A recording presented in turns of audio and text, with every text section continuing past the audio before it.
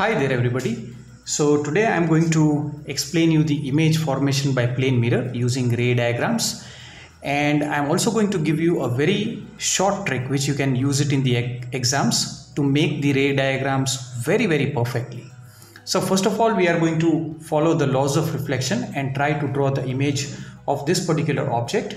So we have this plane mirror and this part is the painted part so basically the non-reflecting part of the mirror and this part of the mirror is the reflecting part of the mirror. You may consider object as a small bulb over here. So there are multiple rays which are going to come out of the bulb and after striking the mirror they are going to get reflected. But we would be needing only two rays for making the ray diagrams, right? So let's begin. So I'm going to take a scale and then two rays will be pulled out from this object and these two rays since they are striking the mirror they are known as incident rays. So let me call this as incident ray number 1 and this as incident ray number 2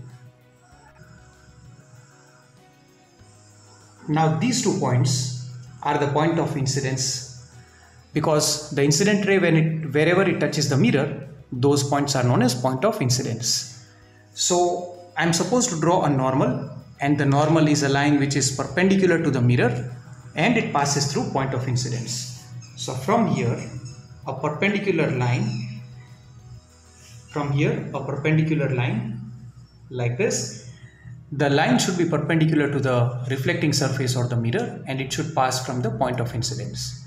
Now the angle between the normal and the incident ray is the angle of incidence here let me call this angle as I2 now since we have completed till here we should measure the angle of incidence I1 and I2 so I should put the protractor over here and I should make sure that this black line must match my plane mirror and the normal must match this particular 90 degree line. So the angle of incidence is from here till here. So it is 10 20 30 40 50 then i have 55 and somewhere around 58 degree. Because this is the angle of incidence right? So from here to here this is the angle of incidence. So from 90 to 80 10 degree 20 30 40 50 somewhere around 58 or 59 degree approximately we have the angle of incidence. So here i should leave one division beyond 30 and from here I should leave again one division beyond 30 so over here. So from this side the angle is 58 degree approximately. So from here also this angle should be 58 degree. So I'm going to put a dot over here. So almost leaving one division after 30 over here too.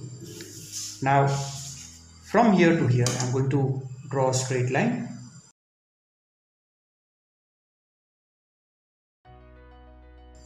this is my reflected ray number 2 and this is going to be R2 and these two angles are roughly the same approximately 58 degree.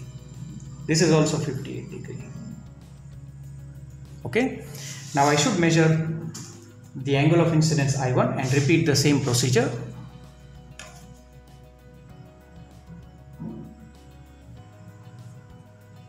And I see that this angle I1 is approximately this is 10 degree 20 degree 30 degree 35 degree and two more divisions 37 so approximately this angle is 37 degree. So I1 is 37 degrees. So uh, the reflection angle must also be 37 degrees. So the angle of reflection should also be 37 degrees so I'm leaving 1 2 and 3 lines after 50 so I should leave 3 lines after 50 this is 50 so 1 2 and 3 almost over here. So this is my reflected ray going to pass from here. Like this. Now this is angle R1 again 37 degree now I should draw an eye over here like this the observer's eyes. Now these two reflected rays are going to go into the eyes of the observer. So since these reflected rays are diverging in nature, they are going far apart, so a virtual image is formed.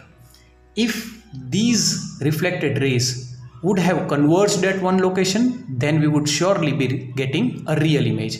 Now in this particular case, the reflected rays are diverging, so for sure we are going to get a virtual image. And we will form and obtain the virtual image by extending these two reflected rays backwards. So I'm going to use a scale again and I will extend these rays by using a scale. Make sure that when you place the scale, you are extending this by a dotted line like this. So I've extended this backwards. Now this should also be extended backwards.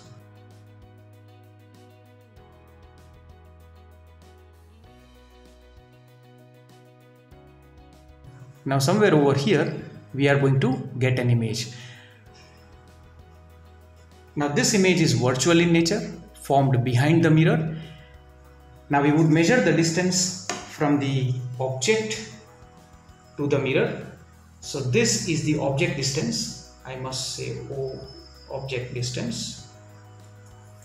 And it has to be the perpendicular distance. You have to drop a perpendicular line from object to the mirror and you have to drop a perpendicular line from the image to the mirror. Now these two are again the same. So this is the image distance.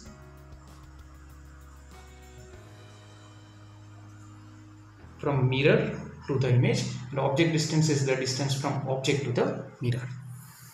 Now I can prove these two mathematically equal because this triangle let me give the name as O A this point as B so OAB and IAB triangle, these two triangles are congruent. See, since this is 37, so this angle should be 53 because this whole angle is 90 degree. So if this is 37, this is 53. Now these two are vertically opposite angles. So this angle is also 53.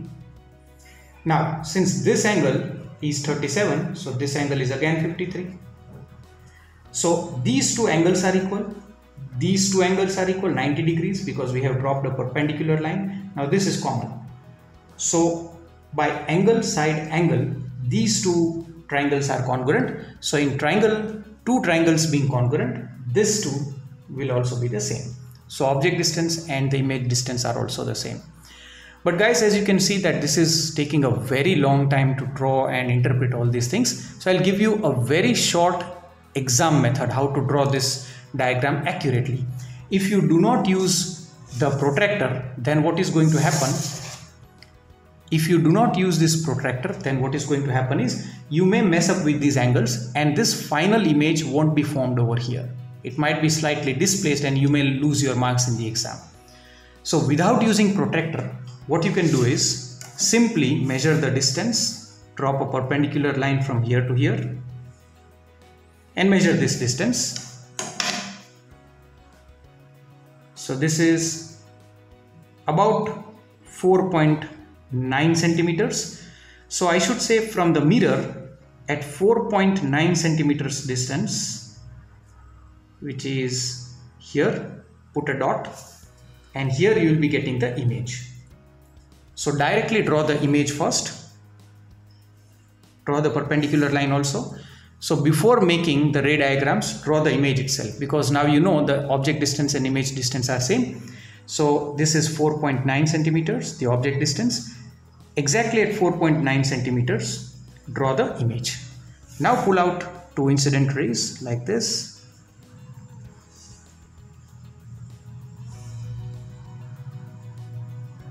These are our two incident rays. Now join these two point of incidences with your image with a dotted line.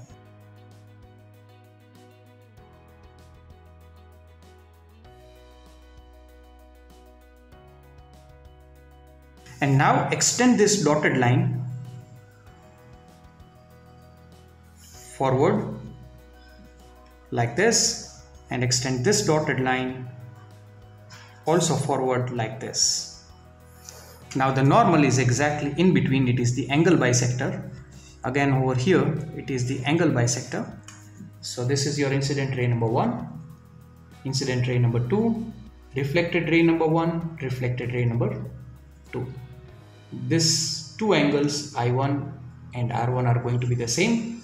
These two angles I2 and R2 are going to be the same. Again you can draw an eye over here and you can see that how easily we have made the entire diagram and nobody would actually know that you haven't used the protractor as well. So hopefully guys you might have enjoyed my explanation. If you are new to my channel please do subscribe and share my videos as much as you can. Thank you for watching.